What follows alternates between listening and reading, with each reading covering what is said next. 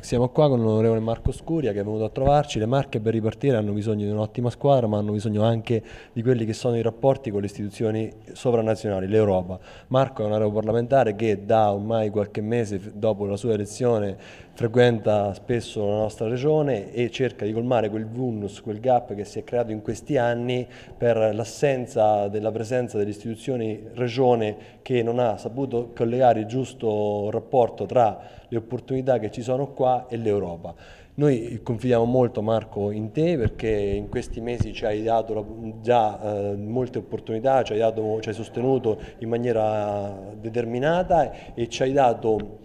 quella possibilità di conoscere quello che realmente l'Europa rappresenta in, in, termini di sviluppo, in termini di uh, unione tra tradizione e futuro.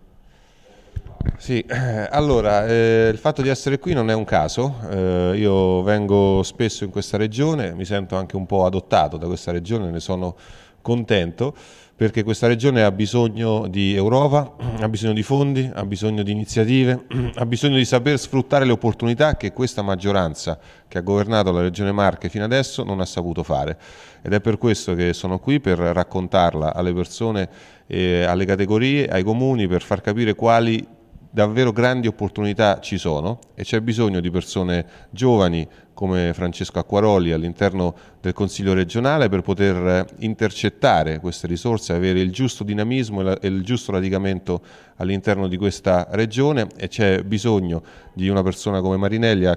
che faccia il presidente di questa regione perché è una persona che viene ovviamente dalla società civile, un professionista, una persona che sa dove mettere le mani, è una persona che sa automaticamente rendere questo territorio vivibile e a dimensione umana e delle persone che ci abitano.